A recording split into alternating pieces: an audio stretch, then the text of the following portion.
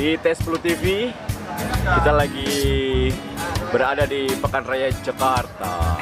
Sebagai warga Jakarta wajib untuk datang ke Pekan Raya Jakarta.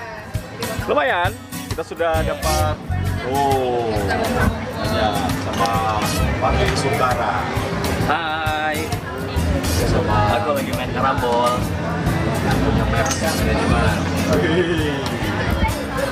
Oke, kalau kemarin udah lihat bagaimana Chelsea berhasil menjadi juara mengalahkan Arsenal dengan sangat mudah, guys, 4-1.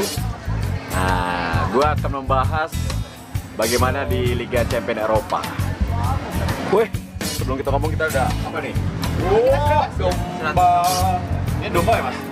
Ya, coba. Domba ya? Domba bener ya? Enggak palsu ya? Enggak, enggak ya? Bener Mas? ya, ya. Asli ya? Asli. Oh iya iya iya. Iya. Oke, Mali. Eh, Liga Champion.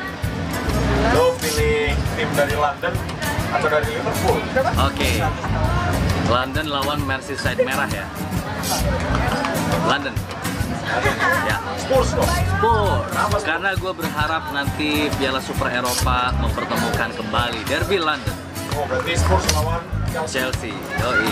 Kenapa lo jagoin Spurs? Eh, sekarang ini banyak kejutan ya di Liga Champions itu banyak banget kejutan yang benar-benar unpredictable ketika kita nonton babak pertama di semifinal kayak misalnya Spurs waktu lawan Ajax Ajax nyerang habis-habisan tapi di babak kedua langsung berubah Spurs mainnya gila-gilaan dan akhirnya menang dan lolos ke final dan sama seperti Chelsea Chelsea juga eh, kemarin di final Europa League lawan Arsenal babak pertama diserang terus tapi ternyata babak kedua kebalik. Oke balik lagi itu Europa League melenceng sedikit. Balik lagi ke Liga Champion. Liverpool yang kayaknya spesialis runner up kali ya. Eh, apa-apa. ya maksudnya di semifinal selalu oke gitu. Tapi ternyata di final akhirnya masuk angin dan kembali gagal untuk merengkuh trofi. Jadi prediksi gua juga di final Liga Champions tahun ini akan ada kejutan bahkan mungkin secara eh, Tottenham Hotspur akan berjaya dan berhasil merengkuh trofi Liga Champions si kuping besar akan dibawa pulang ke London jadi walaupun eh, apa intinya dua trofi bergengsi Eropa baik Liga Champions maupun Liga Eropa ini akan dikawinkan di London. Oh.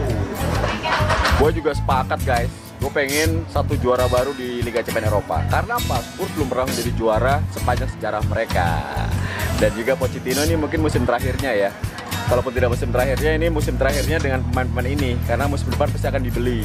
Erikson cabut, mungkin Harry Kane cabut. Nah, ya. Ini waktunya. It's time. Itu kalau ya sih bro. Iya. Let's get ready to rumble. Nah, ini, Jadi rating announcer nih buat di TV One. Eh, tapi nggak Mbak Vina jagoin siapa nih? Dengar-dengar katanya jagoinnya Spurs. Iya dong. Kenapa? Soalnya ada Harry, Harry Kane. Harry Kane doang. Harry Kane itu Kira kamu jagoin aku. Harry Kane itu salah satu pemain Inggris yang paling stabil. Wih. Harry Kane ya. Kalau Spursnya kan masih naik turun, tapi kalau Harry Kane stabil. Jadi eh, setelah comeback dia eh, setelah cedera, kayaknya dia akan semakin eh, bersemangat dan memimpin timnya untuk memenangkan. Oh jadi perkiraannya Kane main ya di sini? Kane main. Kemarin udah nelfon, katanya main. Oh iya iya iya iya iya iya iya. iya. Jadi kalau kita lihat eh, kayaknya yang duduk di meja ini semua pengen juara baru. Meskipun Liverpool bagus nih. Mo Salah penasaran. Nah, tahun lalu gagal karena di Ah! sama Sergio Ramos.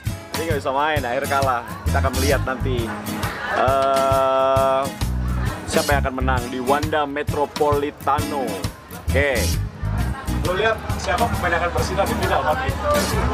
Eh, kalau dari dua kubu atau dari salah satu aja? Kebetulan lu kan presenter Liga Inggris nih, ya kan?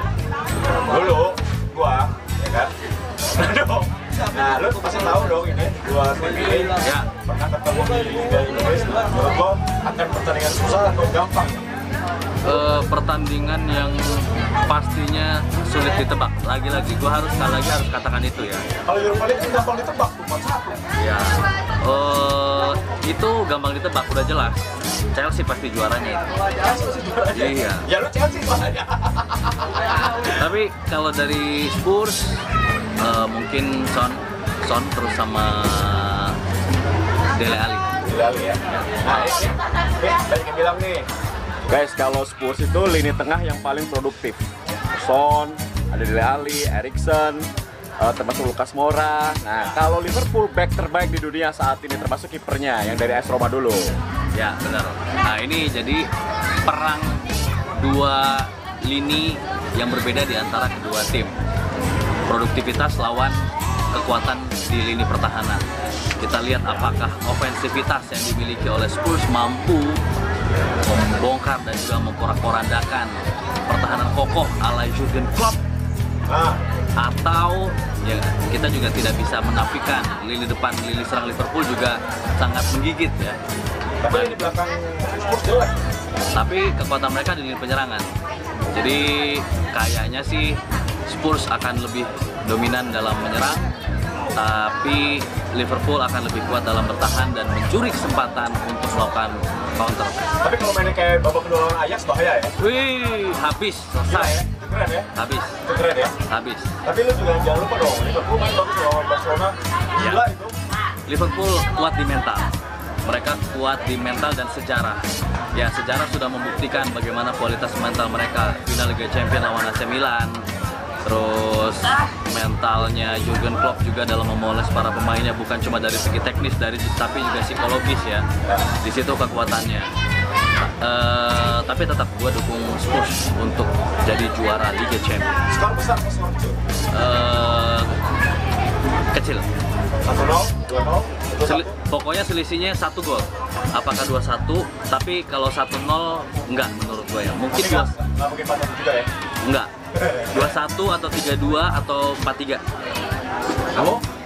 Spurs menang berapa berapa? Menang penalti atau menang? Skornya tipis 2-1. Ya kadang ngomong bener loh. Ya, gue bingung. Presenter bukan, bukan. Nih, udah ditawarin jadi presenter loh. Gila. Gak maaf nih. Rela nggak? Rela, rela nggak? Biar Kalau jadi ini semi final. Gue rela lah. Gue menjadi manajer ntar. Berhenti jadi. Itu guys. Jadi gue nggak tahu lu setuju atau enggak dengan prediksi kita. Cuman kalau kita melihat itu dari sisi statistik eh, final ini, meskipun justru karena underdog itu yang bahaya. Kalau Ajax kemarin nggak terlalu overconfident, pasti bisa masuk. Nah, makan apa sih gue pengen? Domba Afrika. Domba Afrika. Domba Afrika guys. Ya. Ini domba Afrika guys. Domba Afrika. Dia Ya guys. Domba Afrika. kita pesennya dari dua minggu yang lalu. Hah? Sumpah lu? Ya, dombanya kan on the way dulu. Oh iya, iya. Eh, enak guys. Tapi enak banget ya. Nyeruduk kan nih? Hmm? Nyeruduk kan nyeruduk. Ya, nyeruduk aja terus. Mana lagi puasa. Kenapa juga nyeruduk deh? Jadi kita hari ini habis buka puasa sama-sama kita jalan-jalan ke Kota Jakarta. Karena gua ada kerjaan di sini.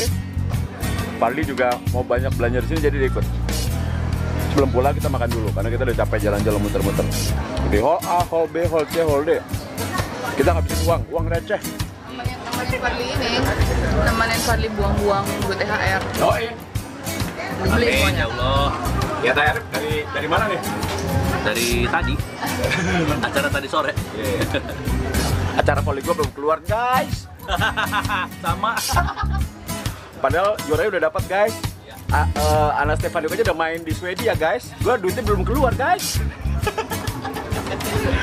Yang penting mudah-mudahan nanti honornya cepat quick alias quick quick quick quick quick quick quick quick quick Tapi yang penting kita bersyukur aja ya. Ya. Masih bisa makan enak ya bro. hmm. Ini makan lagi guys. Nah. Nah. Um. Enak banget ya. Jadi yang cetak gol siapa? Dua satu kan kata kamu. Dari Ken satu, pasti nggak salah.